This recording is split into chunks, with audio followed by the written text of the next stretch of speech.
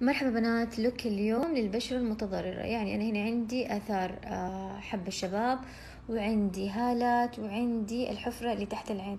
استخدمت أساس Huda Beauty اخترت أساس full cover ما خلط فيه أي حاجة.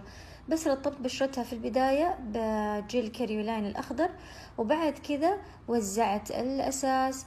وبخيت fix plus من Iconic والآن بعد توزيع الأساس بينت معي الهالات أكثر فاستخدمت concealer Too Faced اسمه warm sand وبدأت أطبطب على المناطق اللي شفت فيها الهالات اللي هو حوالين العين وحتى الجفن المتحرك وحوالين الشفايف. هنا آه، عيون الموديل شوية آه، حمراء فقبل ما نلبسها العدسات حطيت لها القطرة اللي دائما أحطها.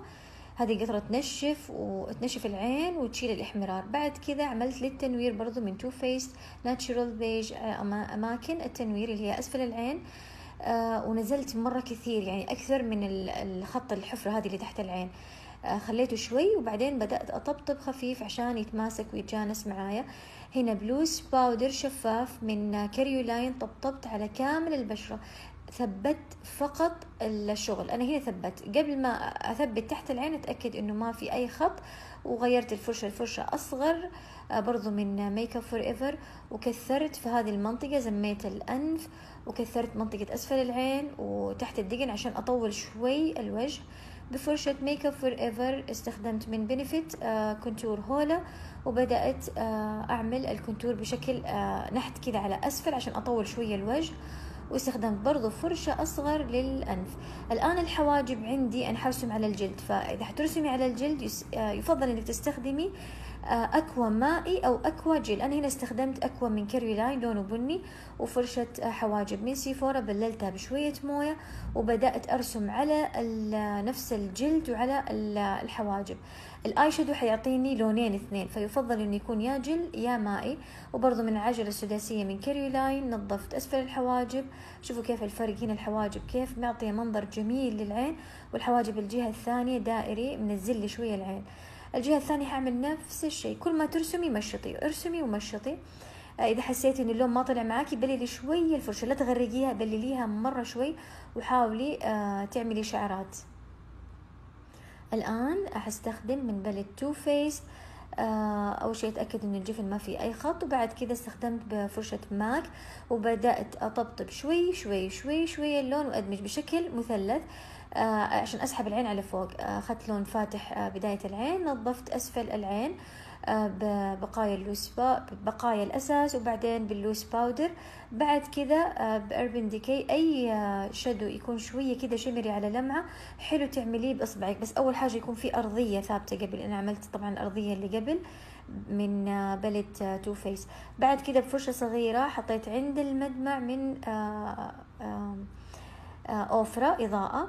والآن ب eyeliner Sephora وهي فاتحة عينها أعمل خطين يمين ويسار كذا أنا وازنت الخطين. بعد كذا حعرض فقط نهاية العين. أنا أبغى أسحب العين فهعمل لها ال cat eyes اللي هي الآيلاينر اللي يجيك عريض بس من الجنب. وأمشي على نفس خط العين على يعني فوق الرموش بتكة بسيطة مرة رفيع. بعد كذا حيكون مرحلة اختيار الرموش أهم مرحلة. يا إني حجمل العين يا إني حغير شكل العين بطريقة ما هي حلوة.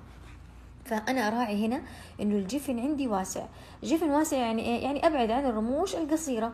لأنه ما حتعمل لي حاجة. آخذ رموش طويلة. يعني هنا أخذت رموش مرة كثيفة من جو فور ات رقمها حرف اي e مرة كثيفة وطويلة لكن شوفوا مجرد ما تفتح عينها ولا كأنها طويلة. ليه؟ لأنه الجفن عندي واسع.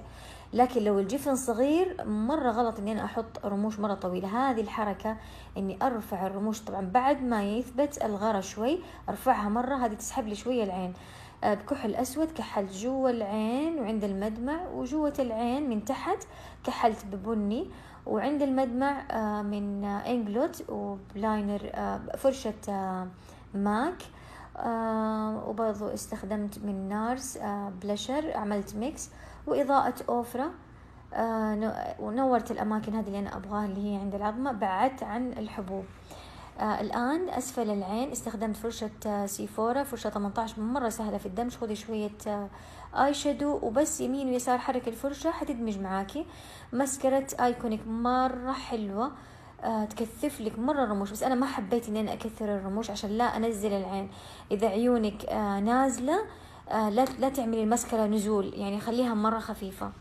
خلاص هنا مرحلة آه وزن الحواجب أوزنها هنا حسيتها شوية نازلة ومن هنا حسيتها شوية آه رفيعة فحعرض بنفس الأكوى أبلل الفرشة ونفس الخطوات إلين ما أحس إنه الحواجب تقريبا آه متساوية.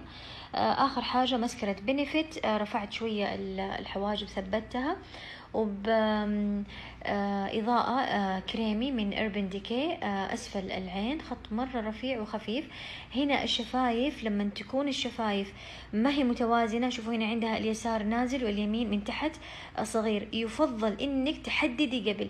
أنا أحب أستخدم روج Sephora على طول من غير ما أحدد لكن إذا كانت الشفايف ما هي متوازية أحدد وبعدين أعمل روج Sephora. أنا روج Sephora انتظرته الين ما نشف وبعد كذا عملت لها gloss من آه، من ديور.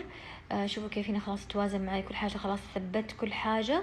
عملت fix plus وبإصبعي حطيت إضاءة من Fenty Beauty على glitter شوي مرة حلوة للعرايس وكل شوية أرجع أبخ fix plus لأني أنا كثرت مرة البودرة. كذا خلصنا من ال look وإن شاء الله يكون عجبكم واستفدتوا.